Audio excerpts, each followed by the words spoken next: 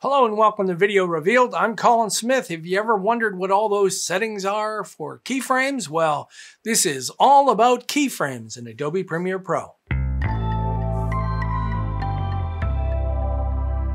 All right, shout out goes to Fun Moment, who asked about keyframes and said, could you go through all the different settings in keyframes? I will. I tell you, I, I hardly use any of them other than ease in, ease out, and those very simple ones, but we're gonna have a look at all of them. All right, let's get started. I'm going to create a bit of motion from this shape right here. In my effects controls, I'll create a position keyframe move ahead, and when I click and drag this ahead, Premiere Pro creates a second keyframe, a linear one, automatically. I'm going to move my playhead in the middle of this and drag this down. And we've got three keyframes. So we've got an animation going from there, down to there, over to there. If you right click on any of these keyframes, you'll see two different choices, temporal interpolation and spatial interpolation. Temporal is time, spatial is space. So you can think of this as when, and this is where. I don't venture down into the spatial interpolation. I leave it where the setting turns on automatically, which is an automatic Bezier.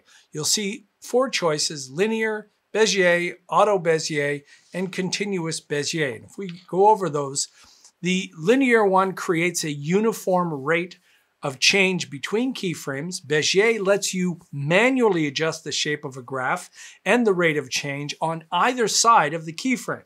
You can create very smooth changes using this method, Auto Bezier creates a smooth rate of change through a keyframe. As you change a keyframe's value, the Auto Bezier uh, direction handles change to maintain a smooth transition. Continuous Bezier creates a smooth rate of change through a keyframe. However, unlike Auto Bezier interpolation method, Continuous Bezier lets you adjust direction handles manually as you change the shape of a graph on either side of the keyframe.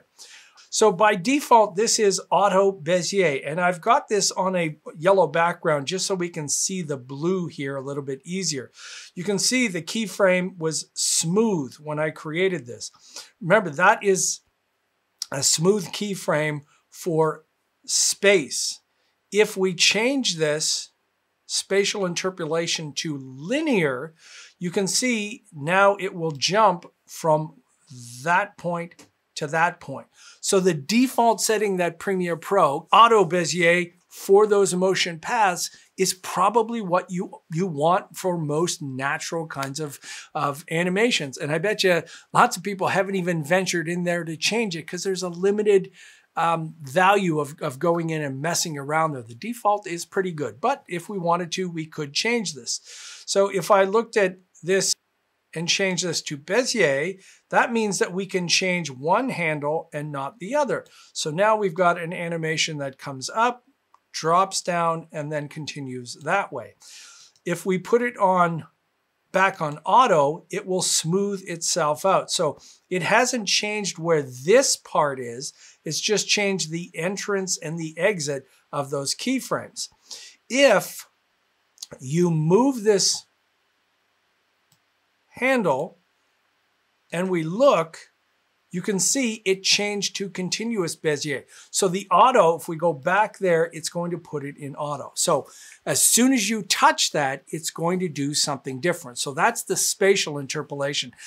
The, the temporal or the time interpolation to me is much more uh, important. For instance, let's just look at the last keyframe, see how it's very mechanical. So if we change this to ease in. Now when it gets to that last one, see how it eases in a little bit smoother.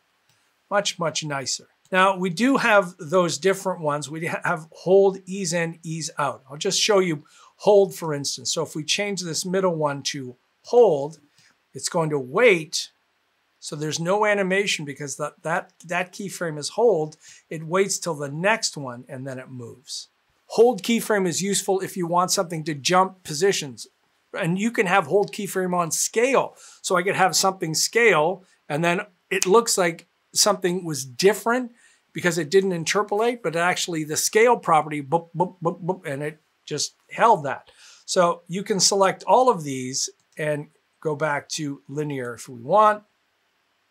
Let's look at changing this again from to Bezier. So now we have Bezier handles on all of this, and we can drag these.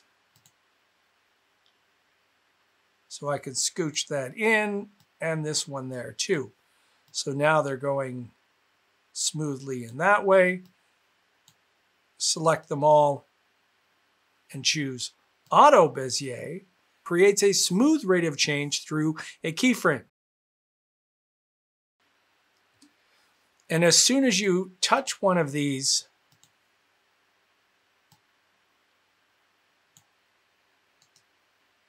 middle ones, you notice it stays on auto Bezier. If we went to continuous Bezier, there really doesn't look to be much difference between these two, but continuous Bezier lets you adjust direction handles manually.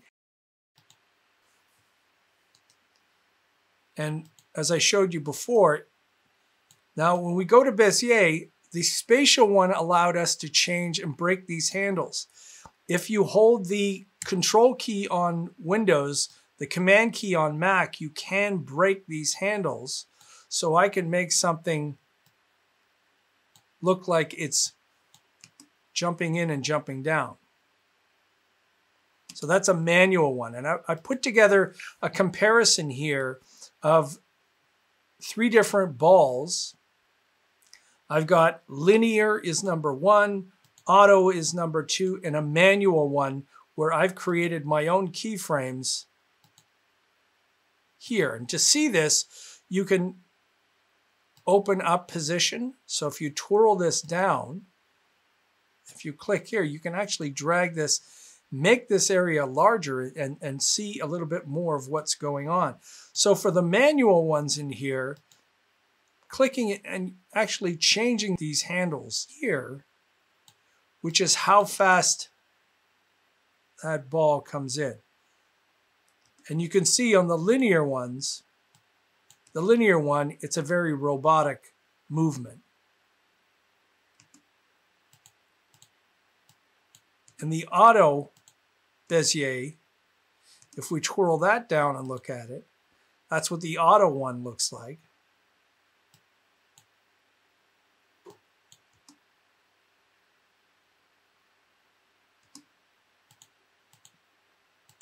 And the manual one, I started with with Bezier, and then I tweak the, these handles in here. So you can tweak how far they're coming up.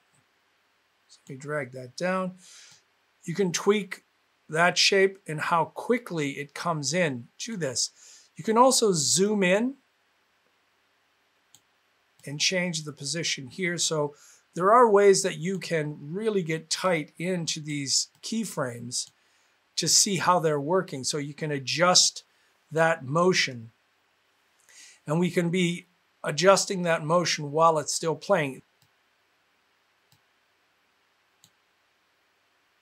So how fast is it hitting that point? It seems to slow down. That's, that jumps in a little bit more.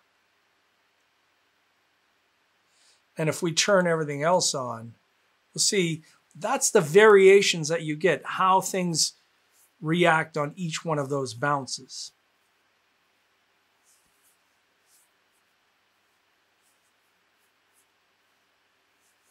So there you go to our viewer fun moment, uh, just for you, a little bit about keyframes. Uh, I have to admit, I, am not the best at creating the most realistic animation. Um, most of that is done by people that in After Effects take time to do very realistic, uh, organic uh, motion. I tend to use, like I said, I'll, I'll tweak those handles a little bit in, in temporal uh, Bezier handles or ease in, ease out. That's about it. I don't really go to that spatial stuff. I let the auto Bezier take place. Okay, So if you found this informative and you're new to Video Reveal, take a moment and subscribe. You want to support us a little bit more, we're making it very easy through PayPal. There's a link in the description and also on the front page. You can donate monthly or a one-time donation. You can also use your credit card or debit card. Till next time, I'm Colin Smith, and it's my job to get you looking your best.